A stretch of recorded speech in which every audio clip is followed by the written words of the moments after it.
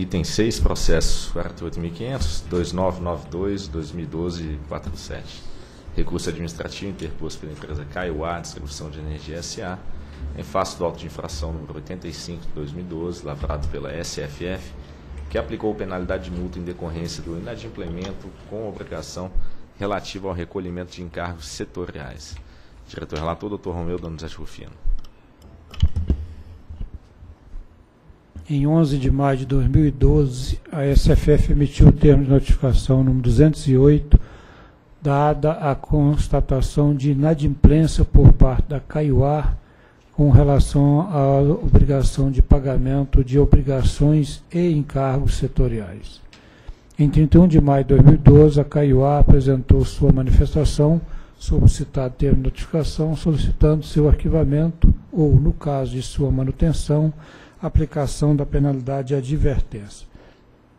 Em 19 de julho de 2012, a SFF lavrou auto-infração número 85, aplicando a penalidade de, de, multa no valor de R$ 3.111.000, mil reais, a qual representa 1% do faturamento da empresa. Em 6 de agosto de 2012, a Caiuá interpôs recurso administrativo contra a penalidade imposta por meio da citada auto de infração, solicitando a reconsideração da decisão da SFF ou o encaminhamento do recurso para a diretoria da ANEL, instância na qual requer o cancelamento do AI ou a conversão da penalidade de multa em advertência, ou ainda a redução da penalidade aplicada, considerando, entre outros, a inexistência de danos para o serviço e para o usuário e a ausência de vantagem oferida pela empresa.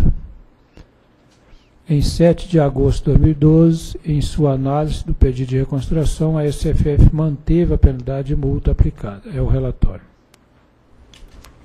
Procuradoria. Procuradoria opina pela presunção de juridicidade da decisão a ser proferida pela diretoria. Preliminarmente, cabe destacar que a inadimplência das obrigações e encargos setoriais pela Caiuá, quando da emissão do TN, alcançava o valor de R$ 39.657.000. mil reais. Atualmente, esse valor já é de R$ 61.505.000, mil reais, conforme demonstrado na tabela a seguir. Então, é, tem a tabela que relaciona os encargos, né, a conta a CCC, em termos de encargos, o maior valor, isso a preço é, na posição atual, 18,7 milhões. A CDE, outros 14 milhões. Energia, lá, oriunda de Itaipu, 20 milhões. Proinfa, 6,9. E a RGR, outro 1 milhão 582 mil. Então, totaliza os 61 milhões, é a situação atual. A figura abaixo apresenta a evolução no inadimplência da concessionária desde a emissão do termo de notificação. Aí mostra de maneira gráfica essa evolução, cada um deles.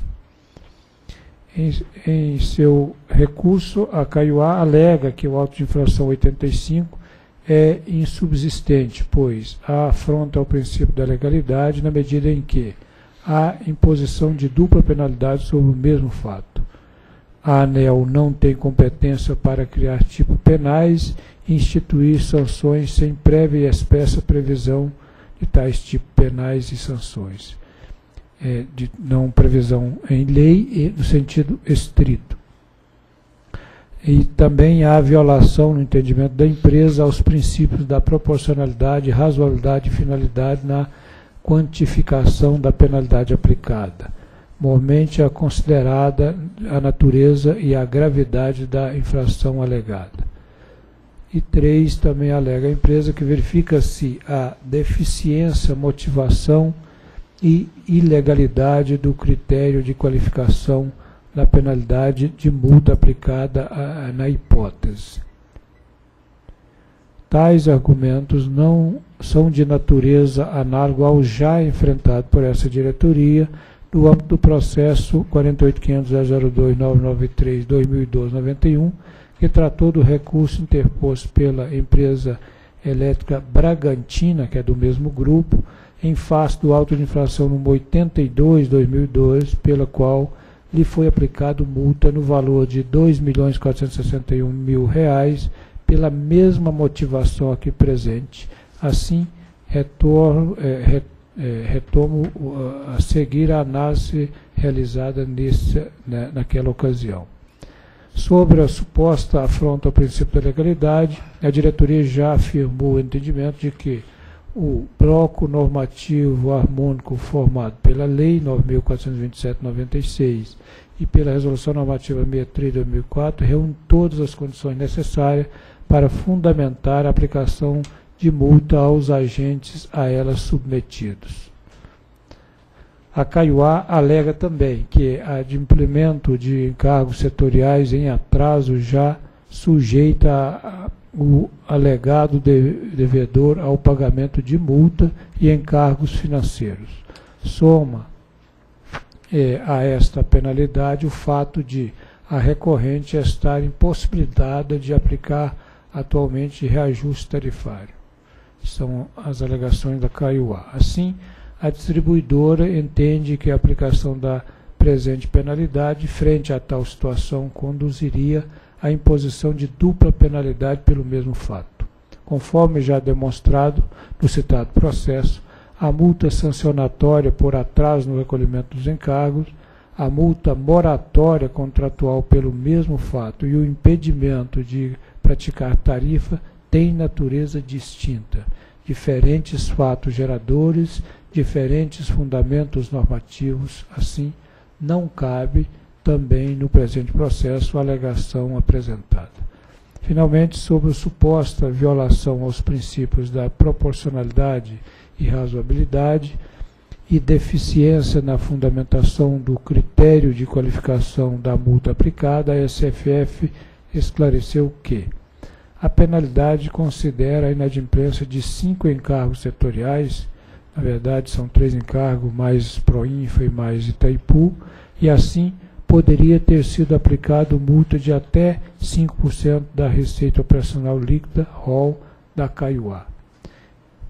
Isso se fosse aplicado o limite para cada encargo, também seria um certo exagero em perfeita harmonização aos princípios da proporcionalidade e da razoabilidade, aplicou multa de 1% sobre a ROL, valor que representa 20% do valor máximo que poderia ser sido aplicado caso fosse aplicada a penalidade máxima de 1% para cada um dos atrasos. Impõe como limite para a penalidade de multa o valor de 10% da inadimplência verificada, ou seja, o valor da inadimplência influencia na definição da dosimetria. A multa aplicada a Caiuá no valor de 3.111.000 reais representa 7,84% do montante total de sua inadimplência à época da fiscalização, que era de pouco mais de 39 milho, milhões de reais. Se fosse utilizado a proporção de 10% do montante da inadimplência no recolhimento das obrigações, e encargos setoriais, como verificado para algumas empresas do mesmo grupo, a Caiuá seria imposta multa no valor de cerca de 3 milhões mil, o que não ocorreu devido à limitação de 1% da sua receita operacional líquida. Nessas condições, não se vislumbra a alegada falta de motivação ou inconsistência na dosimetria utilizada pela SFF, até porque, como demonstrado, o valor da multa aplicada a Caiuá resulta proporcionalmente menor ao da multas imposta a congêneres do mesmo grupo.